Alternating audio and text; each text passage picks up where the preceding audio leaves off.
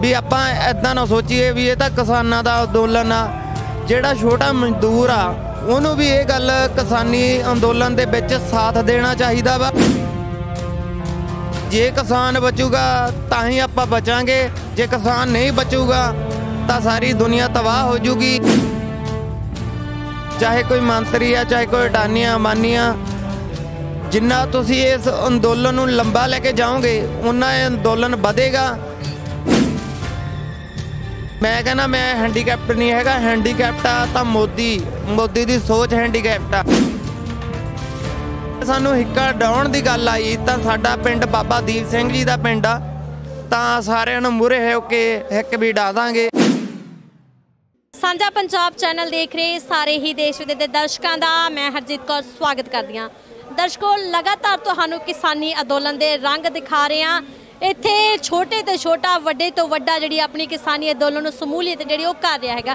ਸਾਡੇ ਨਾਲ ਇੱਕ ਵੀਰ ਮੌਜੂਦ ਆ, ਜਿਹੜੇ ਕਿ ਬੜੇ ਹੀ ਮੁਸ਼ਕਲ ਘਾਲ ਕਰਕੇ ਇਸ ਕਿਸਾਨੀ ਅੰਦੋਲਨ ਦੇ ਵਿੱਚ ਪਹੁੰਚੇ ਨੇ।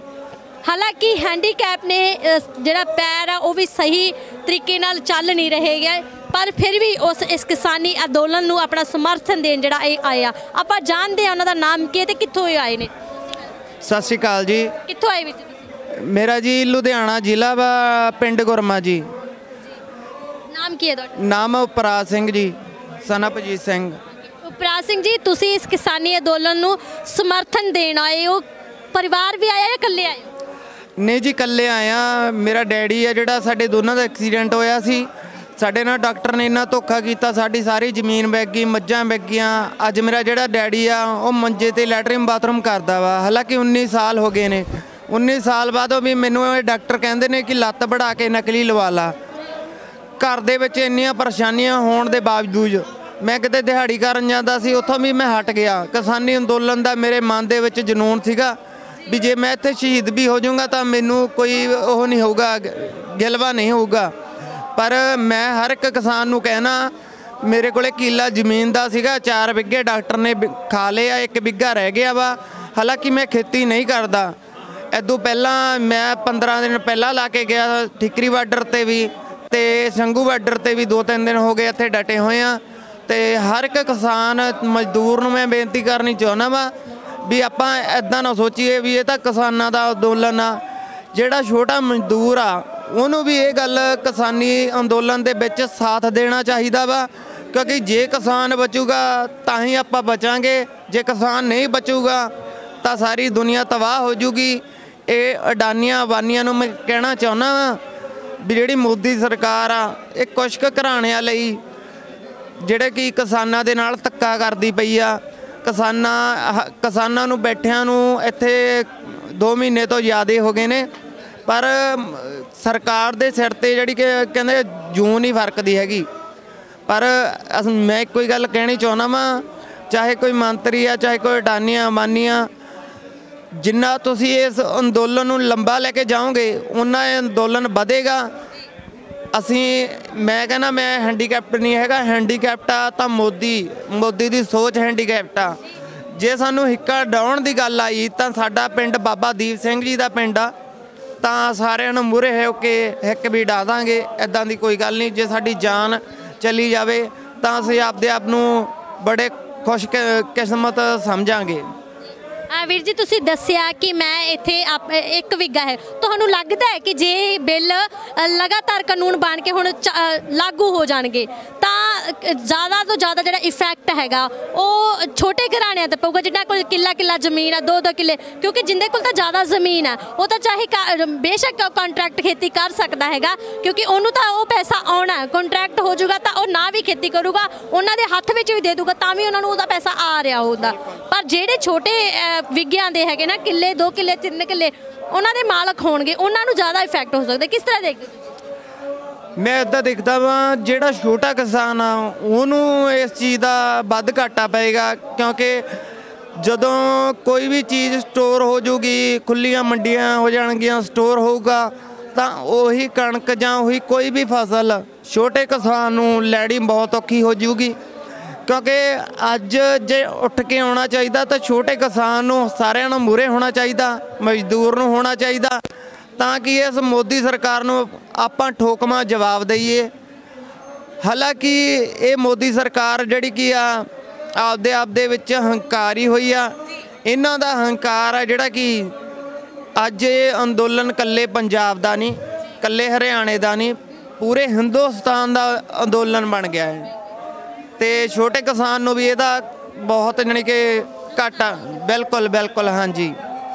ਵੀਰ ਜੀ, ਜਦੋਂ ਤੁਸੀਂ ਇੱਥੇ ਆਏ ਸੀ, ਤੁਹਾਡੇ ਤੁਸੀਂ ਦੱਸਿਆ ਕਿ ਪਰਿਵਾਰ ਵਿੱਚ ਤਿੰਨ ਤੁਸੀਂ ਜੀਓ, ਪਾਪਾ ਤੁਹਾਡੇ ਮੰਜੀ ਤੇ ਨੇ ਔਰ ਮੰਮੀ ਹੀ ਤੁਹਾਡਾ ਦੇਖ, ਜਿਹੜਾ ਘਰ ਦਾ ਦੇਖਭਾਲ ਕਰ ਰਹੀ ਹੈਗੀ ਹੈ। ਫਿਰ ਤੁਹਾਨੂੰ ਰੋਕਿਆ ਨਹੀਂ ਉਹਨਾਂ ਨੇ ਵੀ ਇਸ ਕਿਸਾਨੀ ਅੰਦੋਲਨ 'ਚ ਤੁਸੀਂ ਜਾ ਰਹੇ ਹੋ, ਤੁਸੀਂ ਇਕੱਲੇ ਇਕੱਲੇ ਉਹਨਾਂ ਦਾ ਸਹਾਰਾ ਹੋ ਫਿਰ ਜੇ ਇੱਥੇ ਕੋਈ ਘਟਨਾ ਵਾਪਰ ਸਕਦੀ ਹੈ, ਕਿਸ ਤਰ੍ਹਾਂ ਦੇਖਦੇ ਹੋ ਵੀ ਤੁਹਾਨੂੰ ਕੋਈ ਡਰ ਨਹੀਂ ਲੱਗਾ ਇੱਥੇ ਆਉਣ ਲੱਗਿਆ?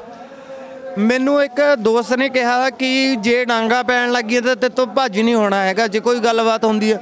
ਪਰ ਮੈਂ ਇਹ ਗੱਲ ਕਹਿਣੀ ਚਾਹੁੰਦਾ ਮੈਂ ਵੀ ਡਾਂਗਾ ਪੈਣ ਲੱਗੀਆਂ ਜਾਂ ਗੋਲੀਆਂ ਚੱਲ ਪਈਆਂ, ਤਾਂ ਮੇਰੀ ਮਾਂ ਇਹ ਗੱਲ ਕਹਿੰਦੀ ਹੈ ਕਿ ਕੋਈ ਗੱਲ ਨਹੀਂ, ਜੇ ਮੈਨੂੰ ਆਪਦਾ ਪੁੱਤ ਕੌਮ ਦੇ ਉੱਤੋਂ ਬਾਰਨਾ ਪੈ ਗਿਆ, ਜਦੋਂ ਗੱਲ ਸਾਡੀ ਕੌਮ ਤੇ ਆਉਂਦੀ ਹੈ ਨਾ, ਤਾਂ ਉਹਨਾਂ ਮੂਰੇ ਲੋਕ ਪੱਕੀਆਂ ਨੌਕਰੀਆਂ ਕੀ ਸਭ ਕੁਝ ਛੱਡ ਕੇ ਕਿਸਾਨੀ ਅੰਦੋਲਨ ਦੇ ਵਿੱਚ ਆਪਣੇ ਆਪ ਨੂੰ ਝੋਕੀ ਬੈਠੇ ਨੇ।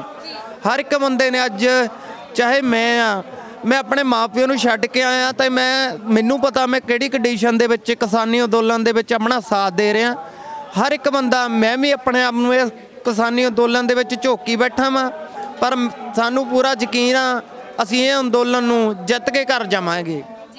ਜਿਸ ਤਰ੍ਹਾਂ ਤੁਸੀਂ ਕਿਹਾ ਕਿ ਮੈਂ ਵੀ ਆਪਣੇ ਆਪ ਨੂੰ ਇਸ ਕਿਸਾਨੀ ਅੰਦੋਲਨ ਦੇ ਵਿੱਚ ਝੋਕੀ ਬੈਠਾ ਵਾਂ ਹਨਾ? ਹਾਲਾਂਕਿ ਮਾਪੇ ਤੁਹਾਡਾ ਪੂਰਾ ਸਮਰਥਨ ਦਿੰਦੇ ਨੇ ਅਸੀਂ ਵੀ ਸਲਾਮ ਕਰਦੇ ਹਾਂ ਇਹੋ ਜਿਹੀਆਂ ਮਾਤਾਵਾਂ ਨੂੰ ਜਿਹੜੀਆਂ ਕਿ ਇਸ ਕਿਸਾਨੀ ਅੰਦੋਲਨ ਦੇ ਵਿੱਚ ਤੁਹਾਨੂੰ ਵੀ ਉਹਨਾਂ ਨੇ ਭੇਜਿਆ। ਪਰ ਤੁਸੀਂ ਦੇਖੋ ਕਿ ਕੇਂਦਰ ਸਰਕਾਰ ਨੇ ਤਾਂ ਸਿੱਧੇ ਸ਼ਬਦਾਂ ਦੇ ਵਿੱਚ ਕਹਿ ਦਿੱਤਾ ਕਿ ਅਸੀਂ ਇਹ ਬਿੱਲ ਰੱਦ ਕਰਨੇ ਹੀ ਨਹੀਂ। ਦੇਖੋ ਜੀ ਕੇਂਦਰ ਸਰਕਾਰ ਆ ਜਿਹੜੀ ਬਾਰ-ਬਾਰ ਮੀਟਿੰਗਾਂ ਕਰ ਰਹੀ ਹੈ ਮੀਟਿੰਗਾਂ ਕਰ ਰਹੀ ਹੈ ਮੀਟਿੰਗਾਂ ਦਾ ਦੌਰ ਜਿਹੜਾ ਕਿ ਇਹ ਚੱਲੀ ਜਾ ਰਿਹਾ ਵਾ। ਦੇਖੋ, ਗੱਲ ਤਾਂ ਟੇਬਲ ਤੇ ਹੀ ਮੁੱਕਣੀ ਇੱਕ ਦਿਨ ਆ ਕੇ, ਸਰਕਾਰ ਅੱਜ ਮਕਾਲੇ ਜਾਂ ਕੱਲ ਮਕਾਲੇ?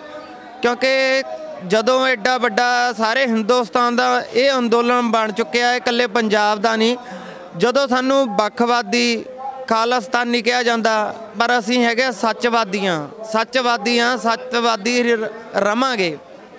ਤੇ ਮੈਂ ਇਹੀ ਗੱਲ ਕਹਿਣਾ ਚਾਹੁੰਦਾ ਵਾਂ, ਜਿਹੜੇ ਘਰਾਂ ਦੇ ਵਿੱਚ ਬੈਠੇ ਆ, ਉਹਨਾਂ ਨੂੰ ਵੀ ਜਿਹੜਾ ਕੀ ਆ, ਇਸ ਅੰਦੋਲਨ ਦੇ ਵਿੱਚ 26 ਤੋਂ ਪਹਿਲਾਂ ਟਰੈਕਟਰ ਗੱਡੀਆਂ ਜਿੰਨੇ ਜੋਗਾ, ਜੋ ਬੰਦਾ ਜਿੰਨੇ ਜੋਗਾ ਵੀ ਹੈਗਾ ਵਾ ਥੋੜੇ ਤੋਂ ਥੋੜਾ ਬਹੁਤੇ ਤੋਂ ਬਹੁਤਾ ਯੋਗਦਾਨ ਪਾਉਣਾ ਚਾਹੀਦਾ ਹਰ ਇੱਕ ਇਨਸਾਨ ਨੂੰ। ਮੈਂ ਇਹੀ ਗੱਲ ਕਹਿਣਾ ਚਾਹੁੰਦਾ ਜੀ।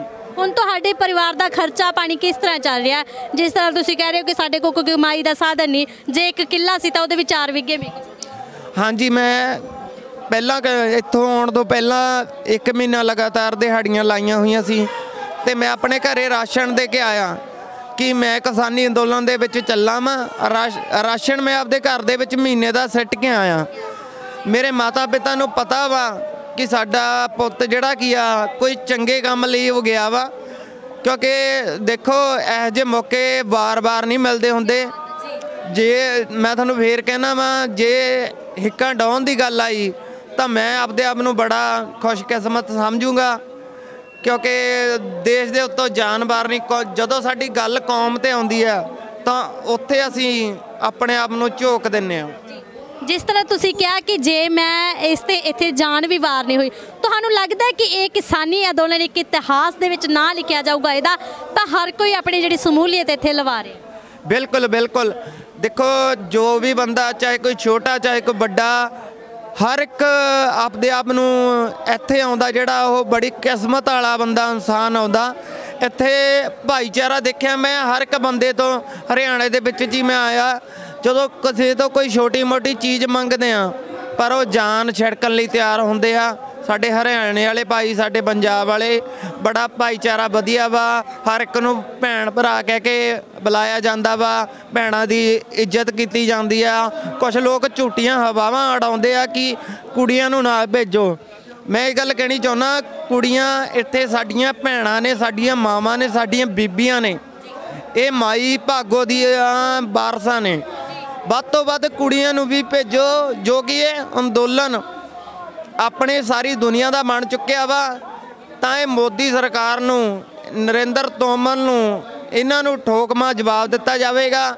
26 ਤਰੀਕ ਤੋਂ ਪਹਿਲਾਂ ਪਹਿਲਾਂ ਜਿਹੜੇ ਕਿ ਕਿਸਾਨ ਨੇ ਤੁਹਾਡੇ ਮਾਧਿਅਮ ਰਾਹੀਂ ਮੈਂ ਬੇਨਤੀ ਕਰਨੀ ਚਾਹੁੰਦਾ, ਵੱਧ ਤੋਂ ਵੱਧ ਆਪਦੇ ਘਰਾਂ ਦੇ ਵਿੱਚੋਂ ਕੰਮਕਾਰ ਨਿਬੇੜ ਕੇ ਜਿਹੜਾ ਕਿ ਆ ਕਿਸਾਨੀ ਅੰਦੋਲਨ ਦੇ ਵਿੱਚ ਯੋਗਦਾਨ ਪਾਓ। ਮੈਂ ਲੱਖੇ ਵੀਰ, ਉਹਨਾਂ ਦਾ ਲੱਖਾ ਸੰਧਾਣਾ ਵੀਰ ਆ, ਉਹ ਪਿੰਡਾਂ ਦੇ ਵਿੱਚ ਜਾ ਕੇ ਲਾਮਬੰਦੀ ਕਰਦੇ ਆ, ਉਹਨਾਂ ਦਾ ਵੀ ਧੰਨਵਾਦ ਕਰਦਾ ਵਾਂ, ਕਿਉਂਕਿ ਉਹਨਾਂ ਨੇ ਵੀ ਵੱਡੇ ਲੈਵਲ ਤੇ ਲਾਮਬੰਦੀ ਕੀਤੀ ਆ ਜਿਹੜੀ। ਬਹੁਤ ਬਹੁਤ ਧੰਨਵਾਦ ਤੁਹਾਡਾ, ਸੋ ਦਰਸ਼ਕੋ, ਅਸੀਂ ਦੱਸਣਾ ਚਾਹੁੰਦੇ ਆ ਕਿ ਤੁਸੀਂ ਦੇਖ ਸਕਦੇ ਹੋ ਕਿ ਇਸ ਕਿਸਾਨੀ ਅੰਦੋਲਨ ਨੇ ਬੜਾ ਵੱਡਾ ਜਜ਼ਬਾ ਪੈਦਾ ਕਰ ਦਿੱਤਾ ਨੌਜਵਾਨਾਂ ਦੇ ਵਿੱਚ। ਤੁਸੀਂ ਦੇਖੋ ਕਿ ਕੋਈ ਵੀ ਜਾਨ ਦੀ ਪਰਵਾਹ ਨਹੀਂ ਕਰ ਰਿਹਾ ਇਸ ਕਿਸਾਨੀ ਅੰਦੋਲਨ ਤੋਂ, ਇਸ ਕੌਮ ਤੋਂ, ਹਰ ਕੋਈ ਆਪੇ ਆਪਣੇ ਆਪ ਨੂੰ ਵਾਰਨਾ ਚਾਹੁੰਦਾ ਕਿ ਜੇ ਗੋਲੀ ਖਾਣ ਦੀ ਵਾਰੀ ਆਵੇ, ਜੇ ਸ਼ਹਾਦਤ ਦੇਣ ਦੀ ਵਾਰੀ ਆਵੇ ਤਾਂ ਮੈਂ ਪਹਿਲਾਂ ਦਵਾਂਗਾ। ਸੋ ਇਦਾਂ ਦਾ ਜਜ਼ਬਾ ਇਸ ਕਿਸਾਨੀ ਅੰਦੋਲਨ ਨੇ ਪੈਦਾ ਕਰ ਦਿੱਤਾ। ਹੁਣ ਤਾਂ ਕੇਂਦਰ ਸਰਕਾਰ ਨੂੰ ਸੋਚਣਾ ਪਵਾਂਗਾ। ਪਵੇਗਾ ਕਿ ਕਿਸ ਤਰ੍ਹਾਂ ਇਹ ਬਿੱਲਾਂ ਨੂੰ ਜਿਹੜਾ ਰੱਦ ਕੀਤਾ ਜਾਵੇ ਤਾਂ ਜੋ ਖੁਸ਼ੀ-ਖੁਸ਼ੀ ਕਿਸਾਨ ਆਪਣੇ ਘਰਾਂ ਨੂੰ ਜਾ ਸਕਣ। ਕਿਉਂਕਿ ਕੇਂਦਰ ਸਰਕਾਰ ਨੂੰ ਹੁਣ ਇਹ ਦੇਖਣਾ ਪਊਗਾ ਕਿ ਲਗਾਤਾਰ ਠੰਡ ਦੀਆਂ ਰਾਤਾਂ ਦੇ ਵਿੱਚ ਠੰਡੇ ਹਾਲਾਂਕਿ ਸਵੇਰ ਤੋਂ ਹੀ ਧੁੰਦ ਪੈਣੀ ਬਹੁਤ ਸ਼ੁਰੂ ਹੋ ਜਾਂਦੀ ਆ ਪਰ ਫਿਰ ਵੀ ਇਸ ਨੌਜਵਾਨਾਂ ਦੇ, ਇਸ ਬਜ਼ੁਰਗਾਂ ਦੇ ਜਜ਼ਬੇ ਉਸੇ ਤਰ੍ਹਾਂ ਹੀ ਕਾਇਮ ਨੇ ਤੇ ਕਿਸਾਨੀ ਅੰਦੋਲਨ ਵੱਧ ਚੜ ਕੇ ਅੱਗੇ ਨੂੰ ਜਾ ਰਿਹਾ ਸੋ ਬਣੇ ਰਹੋ ਸਾਂਝਾ ਪੰਜਾਬ ਚੈਨਲ ਦੇ ਨਾਲ। ਸਤਿ ਸ਼੍ਰੀ ਅਕਾਲ।